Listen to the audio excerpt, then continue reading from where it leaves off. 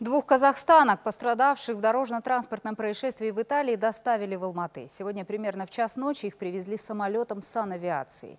Прямо из аэропорта пациенток сразу же доставили в местные больницы. Их состояние врачи оценивают как тяжелое. Они находятся в реанимации.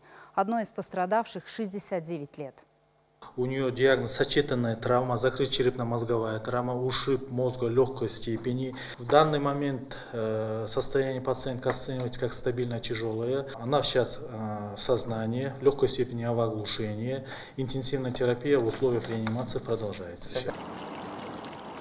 Пожилой женщине врачи уже сделали операцию, понадобится ли повторная, медики пока точно сказать не могут.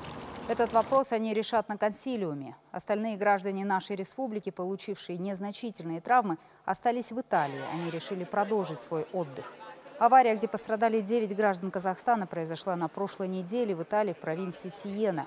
Автобус с туристами слетел в кювет и перевернулся. Из 60 человек тогда пострадали 37 туристов. Один человек погиб. Это была гид из России.